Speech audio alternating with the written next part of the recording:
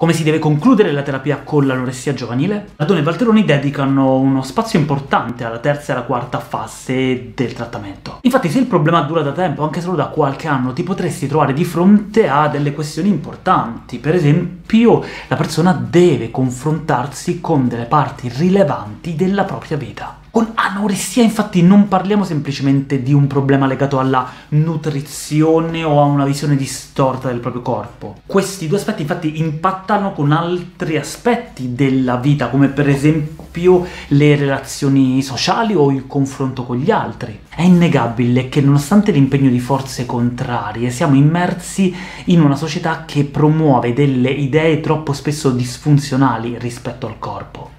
Tanto per citare uno di questi effetti si parla sempre più spesso del tiny privilege, cioè del privilegio dell'essere magri. Oppure la sana cultura della salute fisica viene declinata troppo spesso in una esteticità vacua che di salute ha veramente poco. Comprendi allora che il ragazzo o la ragazza con cui lavori potrebbe avere delle difficoltà a calarsi nel mondo reale al di fuori del tuo studio. Dentro la tua stanza c'è il principio di sanità, ma al di fuori, nel mondo reale, vige il principio dell'estetica. A volte quindi il lavoro da fare è sulla percezione personale. Per esempio il cliente potrebbe avere un'idea troppo rigida di come devono essere le forme del corpo. E dico troppo rigida, apposta, L'estetica è in ultima analisi un valore soggettivo benché largamente influenzato da aspetti culturali e sociali, ma come per tutto una percezione troppo rigida che non lascia spazio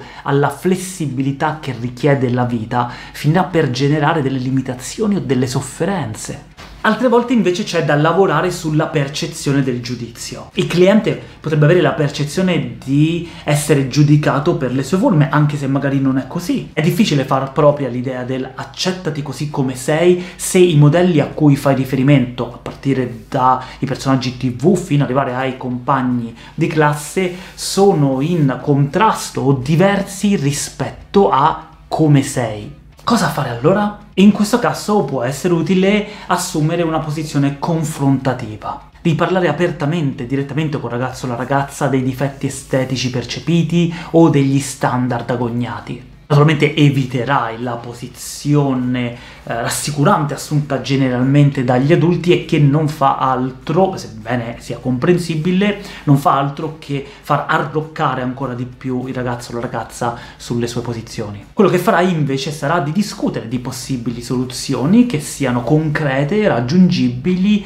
e adeguate. È il come ciò può essere raggiunto che fa la differenza. E poi accanto a questo potrai aiutare la persona con delle strategie relazionali. Sono le competenze nell'agire con gli altri che ci fanno sentire più sicuri e non la bellezza fisica in sé. Sentirsi più belli, che poi più di cosa?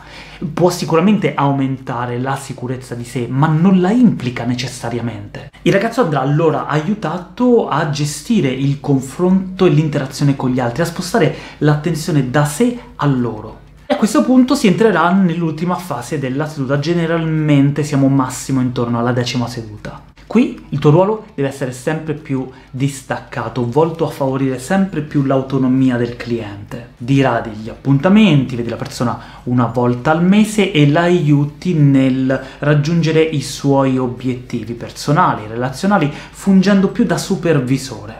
Questo è più o meno tutto ed è un interessante modo di lavorare con i problemi di anoressia. Inconscio, niente dinamiche familiari profonde, solo un lavoro atto concretamente a ripristinare percezioni personali funzionali e competenze relazionali adeguate. Naturalmente non si esaurisce qui, ci sono tante varianti di cui non ho parlato, casi in cui c'è uh, l'overexercising o uh, le abbuffate o il vomito o il purging, insomma c'è veramente tanta roba, però li puoi approfondire questi aspetti nei testi di riferimento. Pronto, è il caso di dirlo, per trattare i problemi di anoressia con la terapia breve tocca fare una buffata formativa.